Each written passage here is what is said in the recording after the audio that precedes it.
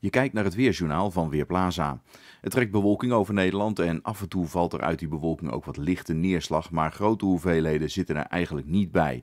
Vanochtend wat gepruttel hier en daar, ook al enkele opklaringen met soms wat zonneschijn en temperaturen van 6 of 7 graden. Vanmiddag komt daar nog wel het een en ander bij. Dan wordt het in het zuiden van het land 9 of misschien wel 10 graden en in het noorden 7. De wind neemt langzaam wat af, maar blijft wel krachtig waaien langs de kust met windkracht 6. En vooral in de kustgebieden blijft ook een bui mogelijk, maar de zon is er ook van tijd tot tijd. Vanavond nog een aantal opklaringen. Vannacht loopt het toch weer dicht met de wolkenvelden. En als het dan nog wel opklaart, kan er nevel of mist ontstaan. En liggen de temperaturen dicht bij het vriespunt. Morgen wordt het 5 tot 7 graden. Vrij veel bewolking, met name in de zuidoostelijke helft van het land. En daar valt ook de meeste neerslag in de vorm van wat regen of motregen. De wind draait naar het noordoosten en voert koudere lucht aan. Zondag wordt het nog maar 3 graden en ook maandag en dinsdag is het aan de frisse kant.